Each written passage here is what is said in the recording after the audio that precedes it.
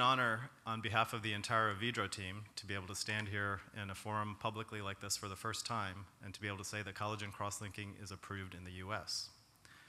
It's been a comprehensive, thoughtful, and cooperative process in working with both the drug and the device divisions of the FDA to get to this point. Photrexa and Photrexa Viscous are the riboflavin part of the treatment applied on the surface of the cornea that was reviewed through CDER. And the KXL system is the UV device that then activates that and strengthens the cornea, and that was reviewed through CDRH. Here's the official approved label for the treatment of progressive keratoconus. And a little bit first about Avedro.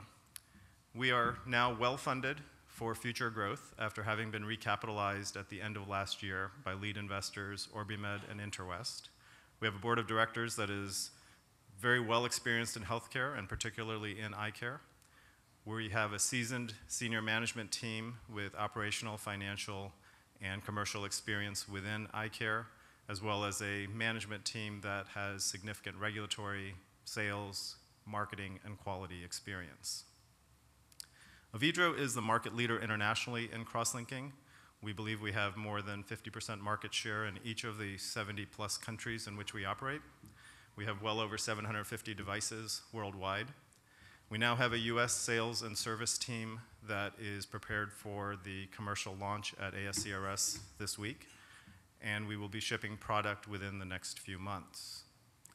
So turning to the future, I think it's best to think of cross-linking as a platform that can have multiple applications, and perhaps most importantly, in the refractive surgery space as a non-invasive procedure. The concept of PiXL, photorefractive intrastromal cross-linking, comes from the understanding that collagen cross-linking can have a differential effect in different parts of the cornea, perhaps due to varying levels of elasticity. The device that you see on your right is the Mosaic system with a CE mark in Europe that is being distributed on a limited basis internationally right now. And in this example, this device allows a customized treatment that can treat myopia.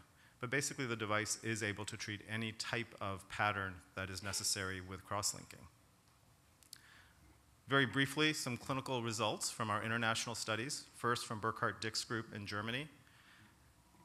Healthy patients, generally young, myopes with low levels of correction, treated and followed over a year with PiXL.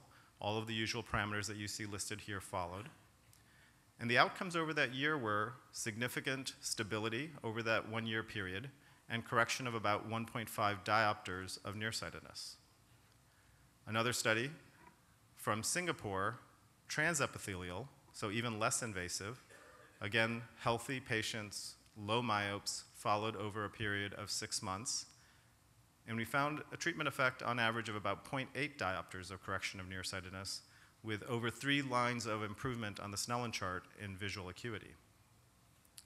So we have multiple ongoing transepithelial studies outside the US that are allowing us to refine nomograms and develop algorithms for the appropriate levels of treatment, but also to study the effect of supplemental oxygen that may allow us to treat higher levels of correction. So ultimately, this device and riboflavin formulation, which is not available in the US, is hopefully going to add a set of patients that aren't currently coming to our practices. These are low myopes that generally are very comfortable with the use of glasses or contact lenses and view other forms of refractive surgery, whether it's LASIK, PRK, SMILE, as perhaps too invasive. So in closing, I would like to invite all of you to our commercial EyeWorld launch on uh, Saturday night. Um, we have been truly impressed with the level of interest with well over 400 clinicians already registered, but we'll make room for everybody. So again, thank you to the OIS organizers for uh, allowing us to be here at a time at which in the US cross-linking is really now available and really is a special time for all of us. Thank you very much.